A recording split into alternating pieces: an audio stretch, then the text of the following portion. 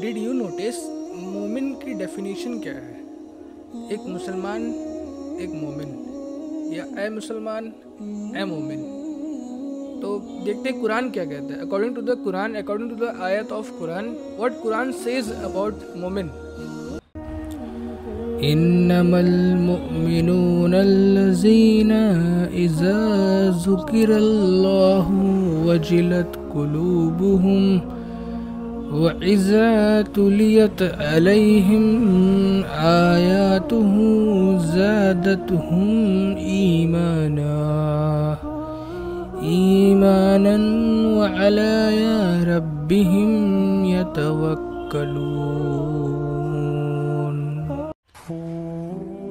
इन्नमल मुमिनून लजी मोमिन तो वो हैं इज़ा ज़ुकिर अल्लाह जब अल्लाह रब्बुल इज़्ज़त का ज़िक्र होता है वजिलत कुलूब तो उनके दिल डर जाते हैं। इन्नमल मुमिनून लजीना इज़ा ज़ुकिर वजिलत कुलूब मोमिन तो वो हैं, जब अल्लाह रब्बुल इज़्ज़त का ज़िक्र होता है तो उनके दिल डर जाते हैं। व इज़ा तुलियत अलैहिम आयातहु ज़ादतहुम ईमान। और जब अल्लाह रब्बुल इज़्ज़त की आयत उनके सामने पढ़ी जाती है तो उनका ईमान जिस सतह पर रहता है, उस सतह से उनका ईमान बढ़ जाता है।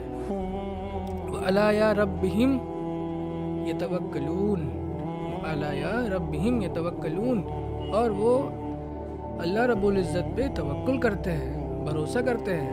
मेरे भाई, हमारा भी ईमान इस तरह होना चाहिए जैसे एक ईमान चिड़िया का होता है, वो खाली पेट अपने घोंसले से निकलता है और भरा पेट वापस आता है। अल्लजीना युकीमून सलाह। वो नमाज़ कायम करते हैं। वो मिम्मा रज़क़नाहुम युनफिकून। और वो अल्लाह रब्बुल इज़्ज़त की राह में अपने माल खर्च करते हैं। मोमिन तो वो हैं, इन्नमल मुमिनून लजी व मिम्मा रज़क़नाहुम युनफिकून। मोमिन तो वो हैं कि जो अल्लाह रब्बुल इज़्ज़त की राह में अपने माल खर्च करते हैं। उलाइका हुमुल मुमिनून हक़। यही सच्चे मोमिन हैं। सो आई होप मेरा भी कॉन्सेप्ट क्लियर हो गया होगा।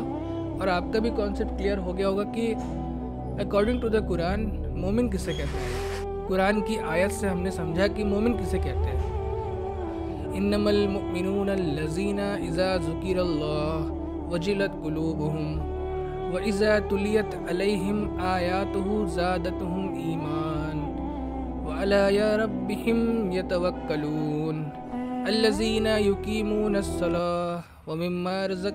व